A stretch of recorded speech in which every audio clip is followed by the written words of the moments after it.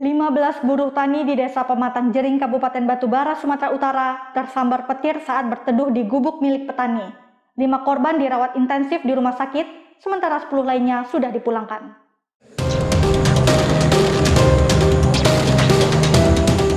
Nasib naas dialami 15 buruh tani yang sedang memanen padi di ladang desa Pematang Jering, Kecamatan Seisuka, Kabupaten Batubara, Sumatera Utara. Mereka tersambar petir saat berteduh di gubuk milik petani. Menurut penuturan korban, cuaca awalnya cerah, namun dalam waktu singkat cuaca berubah mendung. Tidak lama hujan deras disertai angin kencang dan petir yang bersahutan. 15 buruh tani kemudian berhenti bekerja dan memilih berteduh di gubuk menunggu hujan reda. Kronologisnya waktu kan hujan, kami dulu di gubuk rame-rame. Ya tahu-tahu, ya tahu-tahu melek mata kok udah jatuh semua kawan gitu.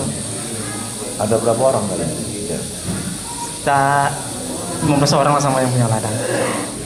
Kelihatan lah sebagainya jalan sendiri, cuman agak pincang lah karena kebas itu.